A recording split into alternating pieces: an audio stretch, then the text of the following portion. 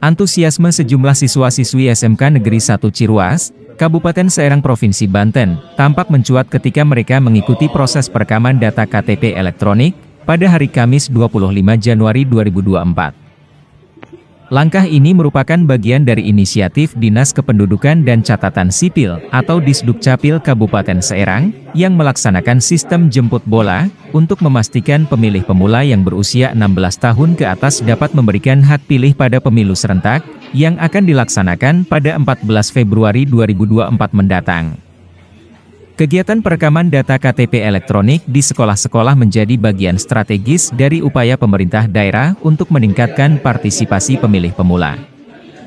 Dengan menyasar langsung ke lingkungan pendidikan, diharapkan proses ini dapat memberikan kesadaran kepada para siswa-siswi mengenai pentingnya memiliki identitas kependudukan yang sah sehingga pemilihan umum serentak pada 14 Februari 2024 mendatang, diharapkan akan menjadi panggung demokrasi yang melibatkan berbagai kalangan, termasuk pemilih pemula. Dengan adanya kegiatan perekaman KTP elektronik di sekolah-sekolah, pemerintah daerah berharap dapat membentuk generasi muda yang lebih terlibat dan memiliki kesadaran tinggi akan peran mereka dalam menjaga stabilitas dan perkembangan negara.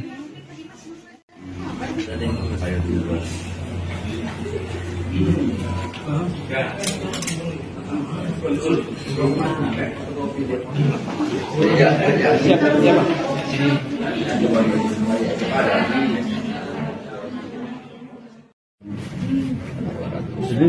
untuk satu orang makan waktu berapa?